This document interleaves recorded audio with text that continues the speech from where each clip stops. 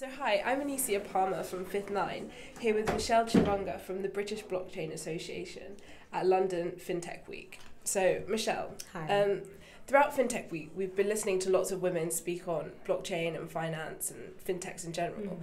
but there are still fewer women than men. Why do you think this is? Uh, I think it's partly, like I was saying in the session earlier on, it's partly, um, you know, about uh, presenting role models, you know, like myself, who are involved in uh, in technology and really encouraging more women to take part, um, you know, and also very much looking into because a lot of women do have the skills.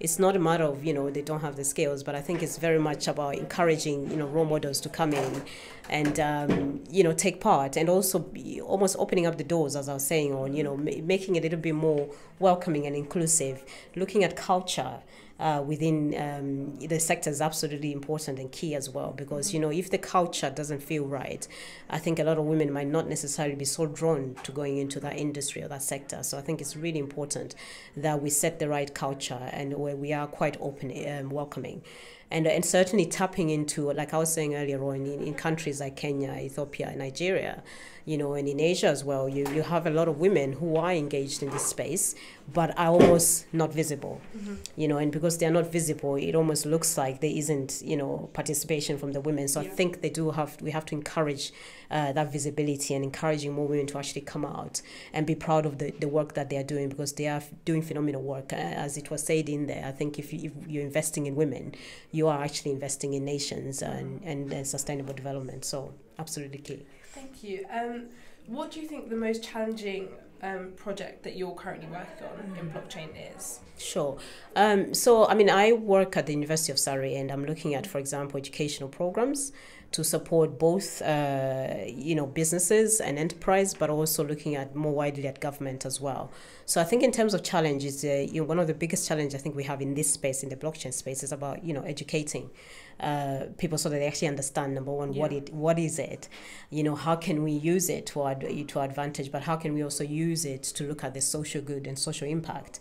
As I was talking about earlier on. So it's very much around education, and the challenge is very much, and this challenge is global. You know, how do we ensure that we are educating, you know, also the end users, not necessarily just people within the blockchain space who might have a little bit of understanding, but very much educating in terms of educating our leaders, uh, government in terms of you know some of the policy frameworks they've got in place and how that influences and affects. Um, you know, how they can tap on technology to actually help address things like, you know, um, transparency gaps, uh, you know, trust issues that we have, independence. So I think it's so important that we do the education so that people do actually understand. And as I said earlier on, it will help with the adoption, you know, with the quick adoption and with more scalable solutions that we can actually use. Because at the minute, we don't necessarily have, you know, scalable solutions that we can actually tap on to address some of the challenges. And I think that's a challenge I put out to the world. Even you know, I'm sure there are developers out there who are who are you know sort of busy trying to find the scalable solutions that we can all adopt. Yeah. Thank you. Um, so, regarding Europe, are you encountering many obstacles to shape and communicate policy directions?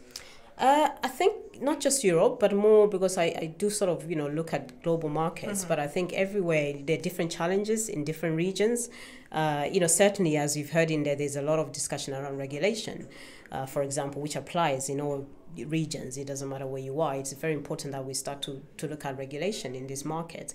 But I am not at all advocating for sort of heavy regulation. I think you have to have very balanced regulation because you don't want to stifle innovation. You Of know, course, yeah. because if you are going to go and heavily regulate, then you are pushing away the innovators. And the innovators, I think, you know, uh, especially in this space, are, are the ones that are going to provide the solutions that we can tap on for scalable, you know, solutions that we can use to address things like the SDGs, you know, to address things like, um, uh, you know, financial inclusion, which we talked about earlier on. And the importance of that, I think, is really, really key. Yeah. So, would you say it's more of a bottom up process then? From I, th- I think it's it, it it partly is. I think we, we are moving away from you know sort of top down Yeah. in a lot of things, and, and it's important that we include um, you know like I was saying you know the, the sort of vulnerable groups as well.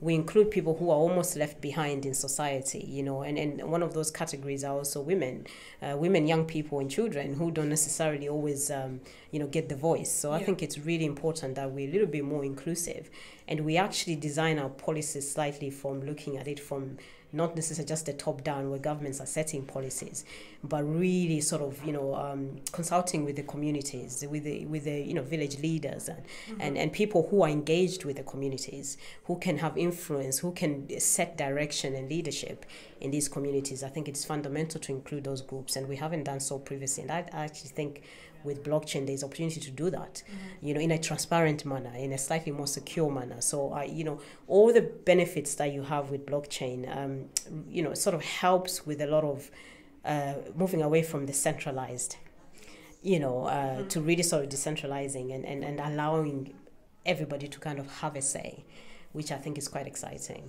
okay yeah thank you so Thank much you. for your time